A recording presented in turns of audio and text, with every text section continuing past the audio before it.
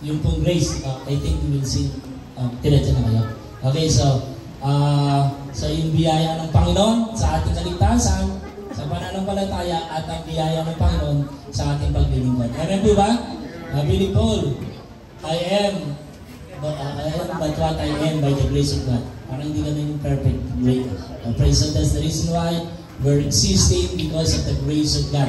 When I started the mission work here, naalala ko si Pastor Hill Aranda, Pastor Hill Aranda, thank you po sa mga suporta nyo. The first generation pastor of the Mother Church.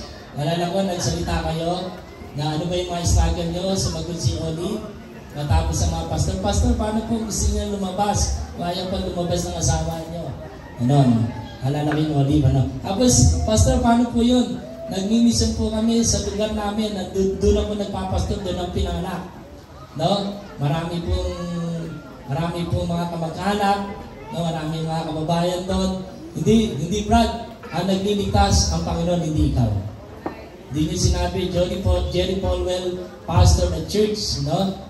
In Thomas Road, one of the largest church in uh, in the USA. He, he pastored a church where he was born. Amen? As tingin nagsabi na a continuous, a growing church is a continuous building. Amen? It is by the grace of God. And this time, we will thank God, we will glorify God. Si Pastor Jerry po, mamaya magkapasalamat. Gi-grace po niya yung building natin, ano, at saka yung Thanksgiving, we will have an exhortation uh, with my family and with this family right after this, ano, at uh, uh, yung last exhortation niya. Okay? So, to encourage us.